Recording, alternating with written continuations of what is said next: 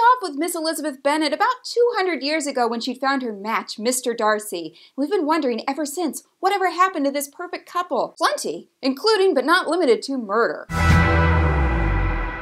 Elizabeth and Mr. Darcy are living the dream you always wanted for them, with a little Master Fitzwilliam running around at their ankles.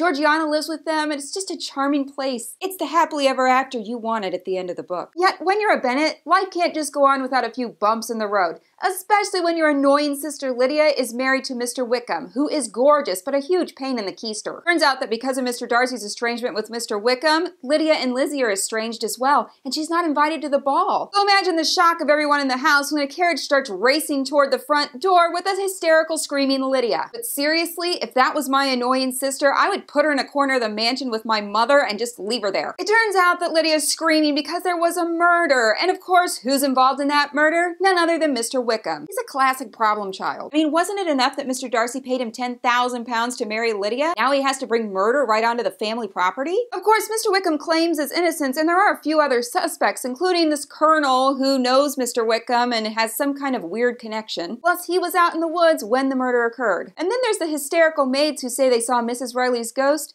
and Elizabeth, who saw a woman who matches the description, who wasn't a ghost but an actual person yeah, she kind of wonders about her too. This miniseries has everything we love about BBC. Great acting, beautiful sets, and a story that you really believe. What I really loved about this show was that it brought back Pride and Prejudice and all the characters you love. All the way down to her parents coming for a visit and Mrs. Bennet flipping out and being ditzy as ever, and her dad going to hide in the library. This masterpiece mystery is definitely worth the watch.